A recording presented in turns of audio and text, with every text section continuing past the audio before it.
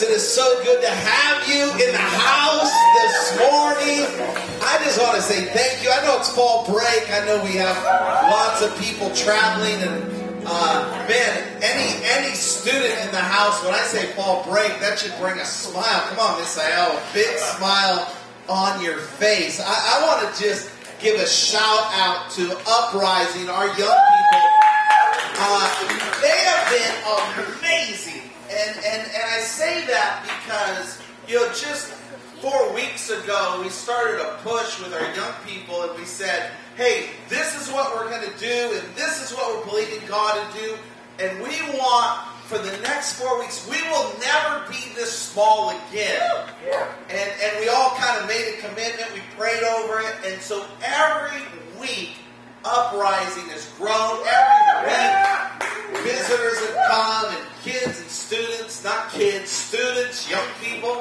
uh, are, are, are, are, getting impacted, giving their life to Christ. It, it's a great, great thing. And I want to encourage you to keep praying for our young people because there's, listen, I, I want to be incredibly loyal to the past, but I want to be ferociously loyal to the future. You know, there's something about that. And, and, and, and on top of that, I kind of got some of my glory stolen uh, this morning. Thank you. It's an honor to be here, to pastor, to be your pastor, to uh, facilitate ministry with Chantel and I. We, we count that not just an honor, but we count it as a privilege at Cornerstone, and we really, really greatly appreciate you.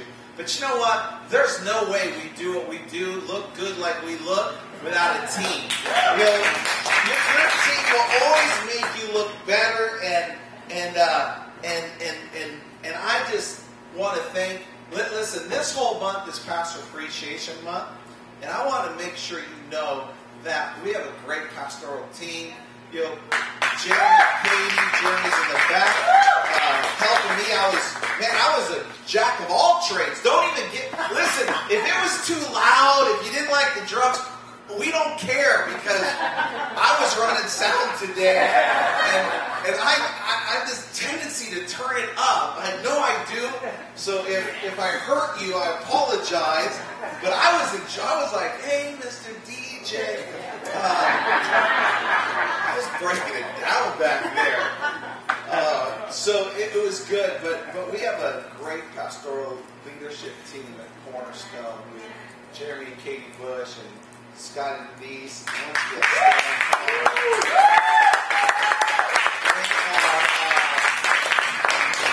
They're amazing. I want you to join me this morning in the book of Ezra. Ezra chapter 3. If you have your Bible, you'll get there in time. Just tell me when you get there. But Ezra is, is, is, is a story. It's actually one book that became two books. So in, in the Hebrew canon, Ezra and Nehemiah are one book, but it was separated later when they translated the book of Nehemiah. They, they separated. It was one book created by two authors, but it's one story. It is, it is the rebuilding of the tabernacle, but it's also the rebuilding of Israel, and it's the re- rebuilding of the Jerusalem wall. It, it, it's, it's a story that is astounding because it's a story of what we sang just a couple moments ago. Will you do it again? Because God is in the business of doing it again and again and again and again. Israel is faced with a very difficult season of their life. The Babylonians overtook them, brought them captive. They, they burned the tabernacle to the ground. They killed the leadership of the city. And, and they began to run on an agenda that was not God's agenda. Now, let me tell you something. It wasn't God's will that Israel found themselves here, it was Israel's will that got them there. Watch this. It was Israel's mistakes that got them there, but it is God's will to get them out of there. And so, in the midst of trouble, in the midst of chaos, in the midst of the broken down, God begins to rebuild because that's who God is. God is a builder. If you don't understand that, God is a builder of lives. Ezra isn't just there as the priest and the scribe to rebuild the tabernacle. Ezra isn't just trying to build something physically, he's trying to build something spiritually. He's trying to rally a troop of people to go again, to believe again, to be challenged again. That once again Israel would rise out of the ashes and into the beauty of what God had created them for and live in the purpose of their life, their God given purpose that they would begin to win again, that they would begin to strive again, that they would begin to take land again and conquer again and overcome again. But but they're in a, a broken place, honestly. They, they live with a triumphant God, but they're not living in a triumphant way. And so Ezra is rebuilding the tabernacle. And you see that as as as the adversary comes into your life, there's two things that he'll try to do. He'll try to break down the leadership of your life, and he'll try to break down the temple, the worship of your life. Two things that happened in the life of Israel is that the tabernacle and leadership was erased. Why? Because what happens when you miss, listen, I'm not just talking about leaders in your life, I'm talking about the leadership of your life. When you become misguided in the leadership of your life, you will surrender to things that you shouldn't surrender to. You will find yourself in places that you shouldn't be, doing things that you shouldn't do. That is the surrenderance.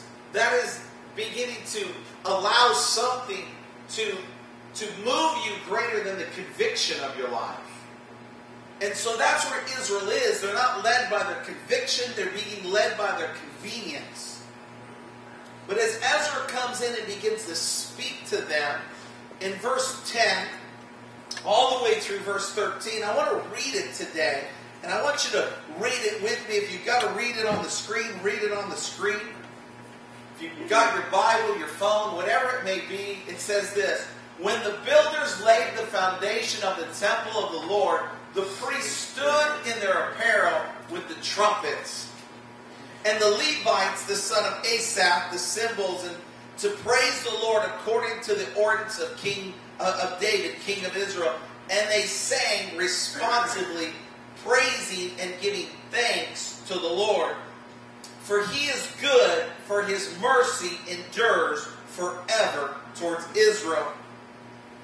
Goes on to say that all the people shouted with a great shout and when they praised the Lord because of the foundation of the house of the Lord was laid.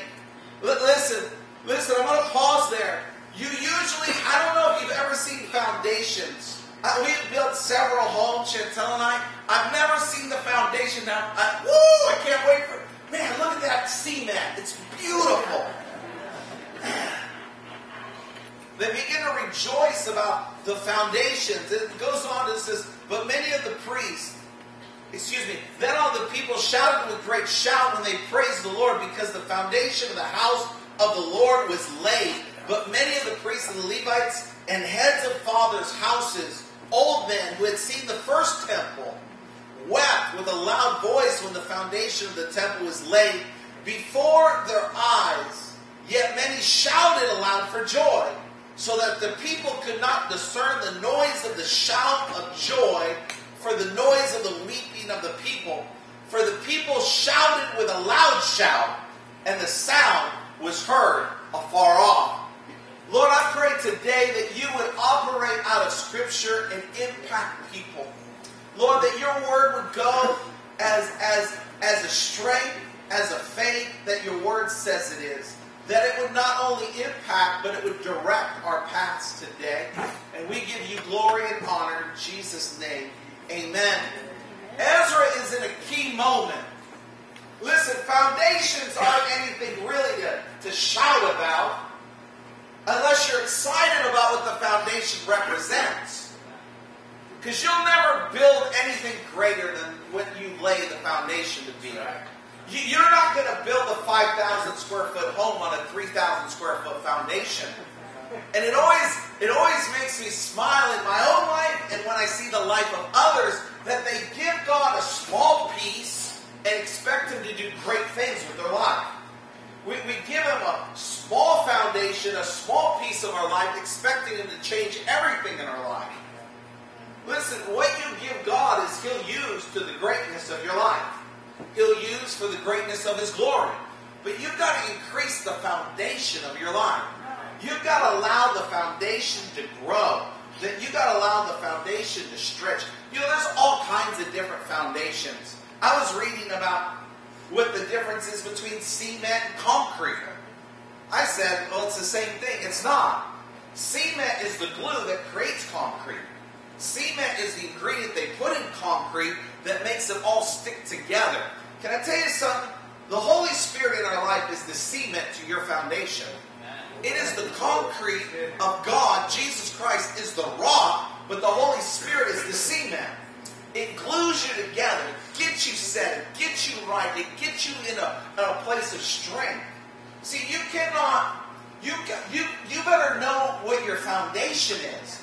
Because when they lay a foundation of foundation, when they lay concrete for a foundation, it has to have a certain strength to it. You can't just go down to Home Depot, grab you a couple bags of concrete, mortar, mix it together, and say, "Oh, I'm going to put a slab down." Because you do it, it's not going to have the psi, it's not going to have the pressure, it's not going to be tested enough to hold the stability of what you want to build on it. So whatever you want to build on it, it's got to be able to withstand the pressure. Not only what you're going to build, but the storms that it's going to face. Not only what you put on the foundation, but what is what, what, what comes to the foundation. So the foundation is so critical. The foundation of your life is so critical. It is so powerful. But we don't like it because it's just foundation. I mean, I don't know if you've ever built a house, but you know when they build the house, they dig your your your your, your footers and they start digging, they start running rebar, and you're just like, can we just build the house? I want to see sticks and I want to see granite. And I want to see travertine. I, I, I want to see showers and, and carpet. And I want to start seeing the paint on the. Now that's exciting. But all that stuff means nothing if you haven't laid a strong right. foundation. Right. We're in a series called Go. Say go. Go. It's a go season. We believe it's a go season. But sometimes you've got to stop before you can go. Sometimes God stops your go. He puts a no to the go so he can put a yes to your future. Can I tell you when you know that your foundation is weaker than it should be? Is instead of standing in foundation, instead of fighting, you, you take flight. That is a key. That is a key thing that shows us in our own life. Whatever you're running from, whatever you take flight from, means there's a weakness in the foundation of your life, that your foundation is cracked. For some of us, foundation got cracked when we were kids. For others of us, foundations got cracked at a church that hurt us. A leader that didn't do what we thought because we, we didn't have our eyes on Christ, we have our eyes on people. Can I just tell you, if I haven't disappointed you yet, give me some time. No, give me some time. I'll disappoint you. Because you know what? We are so worried about humanity. God never asked us to fall in love with humanity like He asked us to fall in love with God. God, God says that you better fall in love with humanity so you have the grace to deal with humanity. But God's grace for humanity allowed Him to love humanity. It's a powerful thing. And, and so God wants to make sure the foundation. I'm here to tell you that God is laying foundation. And it is the storms that, that, that, that test the foundation of your life. It will be the storm that will test the foundation of your marriage. But if you're a person of flight, you always take off before God can build it.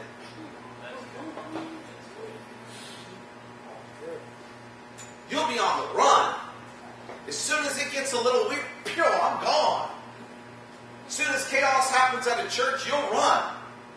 As soon as chaos happens in a relationship, you'll run. Why? Because the foundation of your life somewhere has gotten fractured. And when fractures happen in foundations, walls, and plates, things that should be straight. It says that we're connected to the chief cornerstone, Christ, who sets the, the plumb line, that sets the foundation so that we stay, so that we stay level. An unleveled life. A life that is always seeing turmoil and the same turmoil. And you keep going around the same mountain means that God is up to something in your life to fix the foundational piece so that He can graduate you to the next level of your life. But we don't like foundation. You don't like because foundation is ugly. But listen, listen, I, I, was listening to a guy, and he was the public speaker. He was talking about, you know, when you're dressing, you need you gotta have some foundation. And, and, and I don't know if you ever heard of um, Oh my gosh, I just spaced it. I, I have it in my notes though. It, it, I, let, let me help you. I need to find out what it is so when I go to get one, I can get one. Oh, they're called Spanx.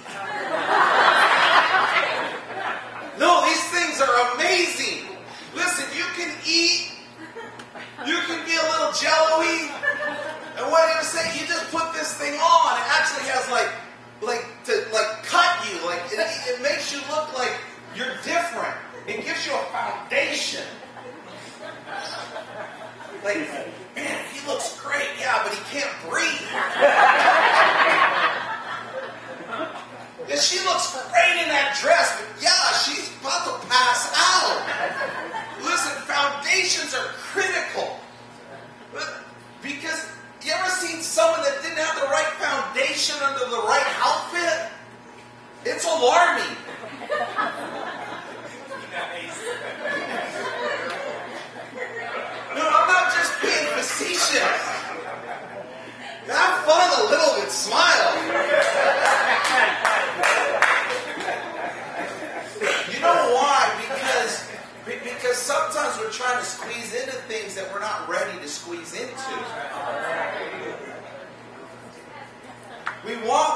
want we don't want to do what we're supposed to do.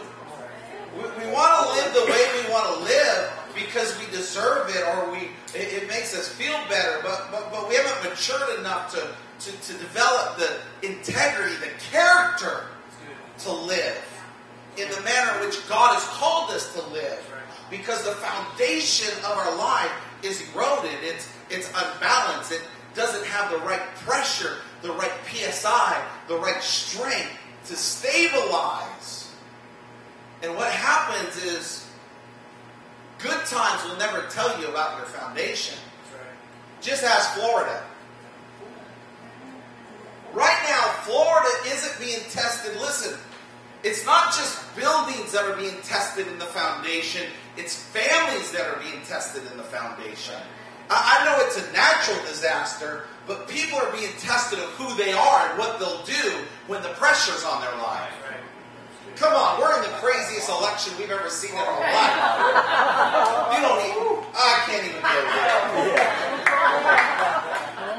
But many times the issue is that we have created a a smaller place for God that He's asking for. God isn't asking for a piece of your life. He's asking for for all of your life.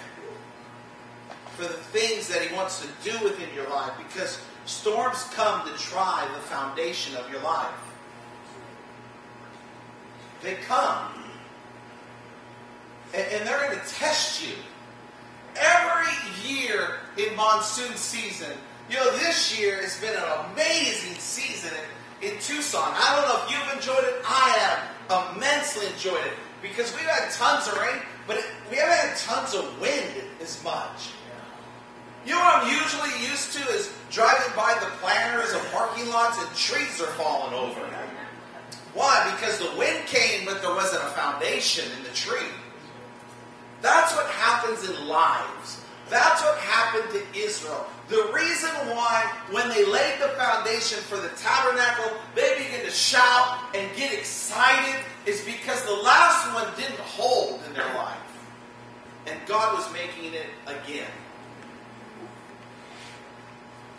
What I put my hope in let me down. What I put my hope in died. And it has frozen me. It is, it is, it has stood me still. But God is doing something again and it's unique because you have two groups of people in Ezra chapter 3. You have one people that are, whoa, come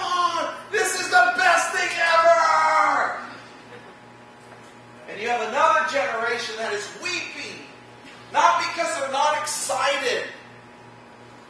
This is where we miss scripture. It's not that they're not excited about the new tabernacle. They're still broken over the old one. And when you're broken over your past, it is really hard to get into your future. When you're broken over what was and what has been, it is hard to cheer about what could be. There's a guilt. Well, I don't deserve that because of where I've been. I don't deserve that because of what I'm doing. I don't deserve that because of what has happened.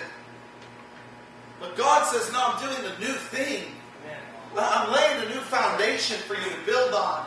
it's not the old foundation, it's a new foundation. It's, it's, it's not an old wineskin, it's a new wineskin. And I want to pour my, my, my, my, my anointing, I want to pour my, my, my pleasure, I want to pour my presence into your life. And let me tell you something. The greatest way to see what is founded in your life is what you'll stand for, not what you'll run for. Whatever you'll stand for is founded. Whatever you run from is fractured. The problem is, is when you get fractured, you'll run from the founded. You will. You'll run from the founded because you have created an appetite for the fracture. Oh, that's not true. Well, I see it every day. I see it in my life. I see it in your life. I see it in our country's life. We, we, we go from one fracture to the next fracture, one relationship to the next relationship, one church to the next church, because we're looking for something to change. Something isn't going to change. God isn't trying to change something. He's trying to change me. Yes. Oh, if I could get that person out of my life, my life, woo! If you get that person, God will bring the same person with a different name on Because you need that person in your life. No, they're from the devil. They just might be from God. They're going to cause you to pray more, be humble more, search more, seek more. It's going to stretch your foundation. You know, in Arizona, we have post foundations. I don't know if you know that what that is, but it's it's actually cables that run through the cement, and, and they put a tension on it that holds our foundations. You know, before they even lay the foundation, they'll they'll percolate the ground. What means is, does the water seep in? Is it is it soft enough to absorb what needs to be absorbed, or is it just going to keep flooding, which is going to erode your ground and, and put sinkholes on your on your foundation?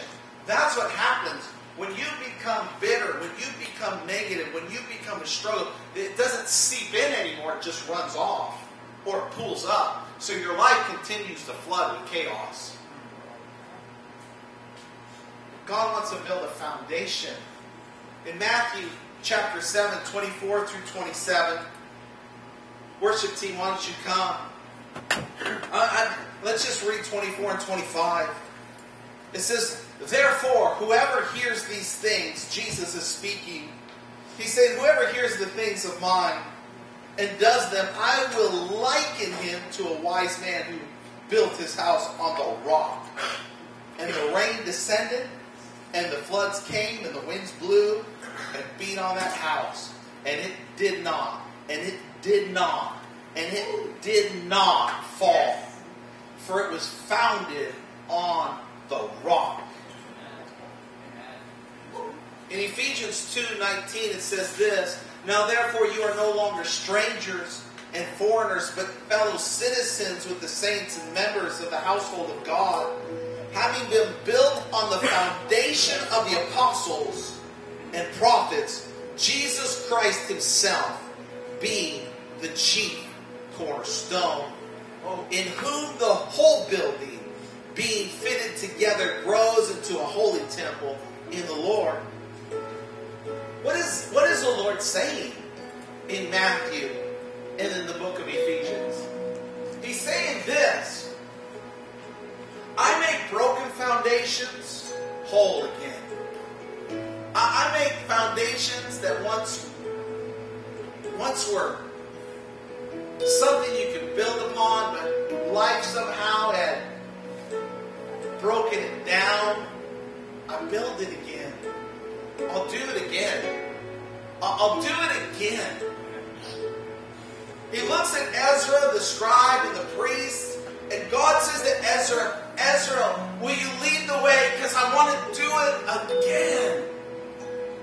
That's why when people that were in captivity, that were in struggle, people that heard the greatness of God but didn't know if they had seen the greatness of God in a while in their life, when the foundation was built for the tabernacle, they began to get excited. Oh, they began to get excited. Why? Because they saw a place where God could start again. Again. So sometimes go, God brings a stop, a rest stop in your life, a pit stop in your life. And He wants to check the tires and, and the gas and make sure you're ready for the next season. He wants to check your foundation because it's not a matter if you're going to have a storm in your life. Oh, you're going to have a storm. It's not if, it's when. But when you've built on the rock, Jesus Christ, it's a foundation that stands the storm. You can, you can stand on that foundation. God said, I, I pulled you out of the mud and the mire, and I've set your feet upon a rock. The struggle for us is when we step off the rock. Is when we flee instead of stand. When you've done everything you can, stand. Then stand firm. Stand. Stand in your convictions. Stand in your healing. Stand in the greatness of your God. Let Him build a foundation of character, a foundation of purpose, a foundation.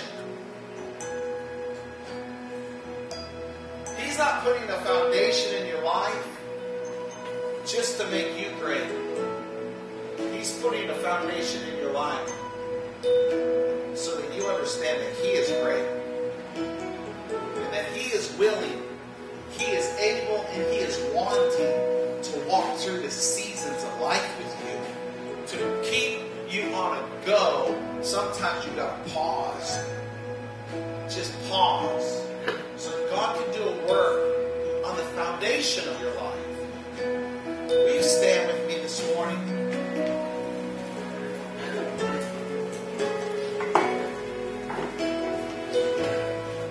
Lord, I love you today. I thank you this morning.